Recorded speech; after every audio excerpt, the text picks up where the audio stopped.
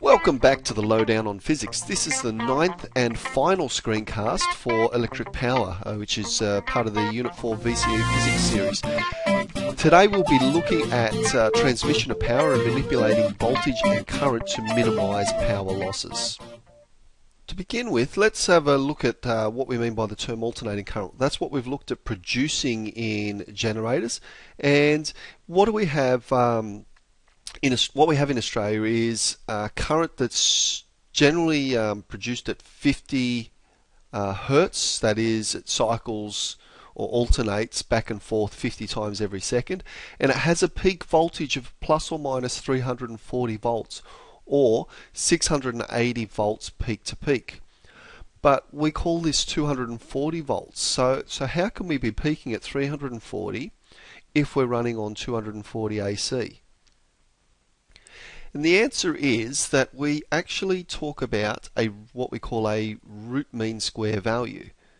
So whilst it has a peak value of 340 volts, really the effective value that we get is only about 240 volts. So anytime you see VRMS or IRMS or PRMS, it's about the effective voltage that we're actually getting, not the peak voltage. In order to do some calculations that uh, move between a peak voltage and an RMS voltage, uh, we've got a few equations. The voltage, basically, voltage divide by root 2 from the peak to get the RMS value. Current is the same, and power is divide by 2 or half the effective power half the power gives us the the root mean square power and that's because power equals v times i over root 2 times root 2. So if you had v times i over root 2 times root 2, you'd get over 2. So I mentioned just a moment ago that it was like the effective power that we get. So how how do we come up with this value of the effective power? Basically, if we connect it to a DC voltage source, that's the same average output that we'd get as if using AC of peak 340 volts. So DC at 240, we'd be getting effectively um, 340 peak from AC would give us the same amount. So why do we use AC if DC requires less voltage? Um, one of the things we looked at last screencast was that it's much easier to transform AC than DC. The changing flux allows it to easily be manipulated. AC generators are also simpler and cheaper to make and run. We can easily use um, AC to switch things like circuit breakers uh, and it's much easier to convert, AC to DC than the other way around. So let's have a couple, look at a couple of examples using this RMS concept.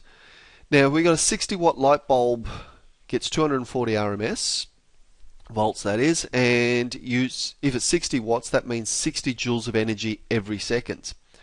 Now statement is that however the instantaneous power varies from 0 to 120 watts 100 times every second. Can we justify this statement? So minimum power is 0 volts twice every cycle. Where the current's 0 basically because we go up to a peak back to 0 down to a peak, back to zero. So twice every every uh, cycle, the current's going to zero. So P equals VI. The zero part's quite easy to justify. Now, peak current, or the, the current in terms of uh, RMS, is power over voltage. So we've got 60 over 240 volts gives us 0.25 amperes. Now, if we look at peak voltage, uh, peak sorry power, it's peak current times peak voltage. So to go from RMS to uh, peak, we've got to multiply by root 2. So root 2 times IRMS times root 2 times VRMS is, well, root 2 times root 2 will be 2. Multiplied by IRMS, which came from our RMS values up here, multiplied by VRMS, which is given in the question. So we've got 2 times 240 times 0.25 amperes gives us a peak value of 120 watts, justifying the other half of that statement. Okay, let's look at another example. So we have an amplifier attached to um, a cathode ray oscilloscope or a CRO, and it gives us an output showing the current and the voltage. So assuming that this axis corresponds to amperes and volts, uh, we can then do some questions. So, what is the RMS voltage across the speaker? So we look at the peak voltage. Peak voltage is 6. To convert from peak to RMS, we've got to divide the peak value by root 2. That was the equation we saw in the uh, the first screen, and that is 6 over root 2 is 4.24 volts RMS, and we should probably have sub subscripted that V RMS. How much energy does the amplifier supply? Well, uh, we've got P RMS equals V times I over 2. Power is voltage times current. Dividing by 2 to put it into RMS. So you've got 6 times 3, which is 18. That'd be the peak power. Divide by 2 is 9 watts. So we'd get an effective 9 watt output. What's the resistance of the speaker? Okay, we know power, we know voltage, we know uh, current as well. So we know all these things. So looking at this, we've got uh, voltage over current which is 6 divided by 3, we've got a 2 ohm resistance. Does it matter if we use peak or RMS? The answer is no, as long as you're consistent. If you use peak for voltage, you need peak for current. Okay, so let's look now at transmitting power. Unfortunately, transmission of power is not really just as simple as generating it at some random site and then sending it straight along the power lines. We get significant power losses due to the current flowing through the wire and the resistance in the wire. Now, if we want to calculate power loss, um, power loss P equals I squared R. So it depends on current and resistance. Now, since I is squared, that means the larger the currents, then we get much more significant power loss. R is fixed. We can't change the resistance of the wire, so we can only reduce resistance by sending a smaller current. Okay, so let's just sort of recap that. To minimize power loss, things that we can do. We can increase V to decrease I, so that's using the idea of the transformer, more than meets the eye. We can, or let's let's look at what factors affect resistance. Firstly, we've got the length that it's got to travel. We've got the area of the cable, and then we have the resistivity of the wire, the actual properties of the particular metal that you're using. So we could reduce the distance that it has to be traveled. That means more power sites closer to we could use much wider diameter cables and that would reduce the resistance or we can use low resistance wires. We could make it all out of gold but really the question is what's easiest and more importantly what's the most cost effective way to do this. So ultimately V changes to V and I are going to be the, the best solution. So that's the reason that we actually have high voltage transmission of power. We generate the voltage, the current, the power at the site, but then using transformers, we minimize the current. We increase the voltage. So this is our starting point. If they're equal, if we increase the voltage, the current must decrease. So this is transformers again. And then we transform uh, transmit it over long distances using really high voltages. That gives us a small current and therefore reduces the amount of power loss that's experienced in the power lines. So in Australia, that means that we are basically voltages are being stepped up between about 220 kilovolts and 500 kilovolts. So pretty significant voltages that we're sending it over the longer distances. And of course, we need seriously good insulation um, to stop that uh, discharging and earthing from the supporting power line, uh, pylons, the, the poles that carry the lines. So we've got glass or porcelain insulators, and they're pretty big. Then we step it down as we're getting in towards um, in towards the suburbs or industrial areas. So it steps down to 66 kilovolts, then 11 kilovolts, and then 240 volts if it's going into a standard suburban house, or 415 if we're going into more an industrial. So this is your three phase, this is your single phase. So if we want to look at that in terms of sort of a graphic, we generated here at this power station, it's stepped up, travels at really high voltage traveling a long distance and then step down, step down, step down to the house again. So what are some of the problem solving strategies that we can use when analysing power transmission?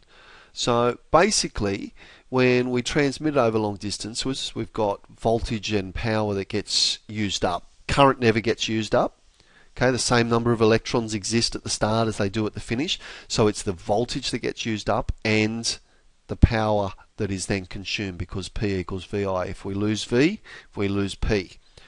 So look at this diagram and we will just sort of make a quick analysis using this diagram as to how we can uh, solve or find you know power losses and things. Haha, transformers. Alright, so what we need to remember, firstly, current remains constant. Okay, so from the second secondary coil here to the primary coil here, current doesn't get used up, that remains the same. So voltage loss, the amount of voltage consumed, equals IR. So you can find the voltage loss by multiplying current by the resistance in the wires.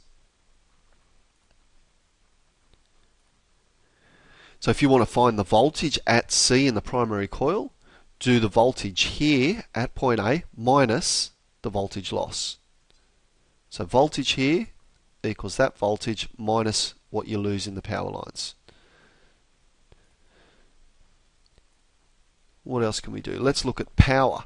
If you want to find the power loss, that's going to be I squared R.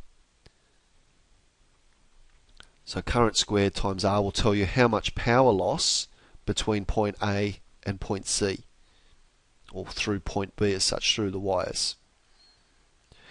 Now, you can do this by calculating P equal to VI or using V squared on R, but you need to know what V loss is, not use the actual starting voltage. I would avoid this just because it can cause some confusion. So the power at C, much like we did with the voltage, if you want to know what power input we have the, to the second transformer, work out the power loss and subtract that from the power you started with. So those are the strategies that we need to use in order to solve this, and we'll work through some questions in class using uh, the, these strategies to solve the problems. Okay, so just to relate it to what we have at home, Basically, domestic power supply generally comes on a power pole over the top to the house or via underground cables.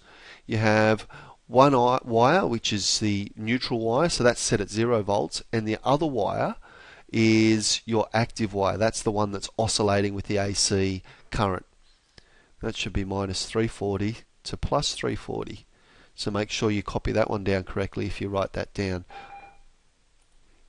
And then when it comes to safety, all your fuses or safety switches and things must go on the active wire.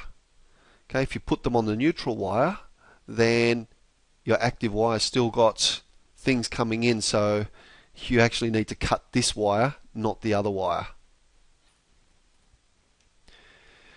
Now, all the power points in Australia have an earth wire. This is also connected to uh, an earth electrode. So basically, what happens is um, it's it's not actually part of the circuit. It's attached. The earth wire is attached to the metal case of any appliance that has a metal case, obviously.